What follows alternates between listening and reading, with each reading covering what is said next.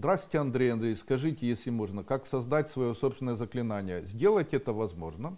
Мной был создан семинар, который называется «Построение символов и знаков. Вторая часть». Там я даю тайные слога, из которых можно построить заклинание свое или свою мантру, а также тайные символы, из которых можно построить какой-либо знак для себя. Поэтому можете знак соединить с символом, и как это делать, я там полностью рассказал. Очень интересный семинар. Ничего подобного никто никогда не выпускал. Не знаю, почему ученики сейчас не показывают свои мантры, не показывают свои заклинания. И этому можно обучать. Это очень интересный семинар, там каждая буква, каждый слог.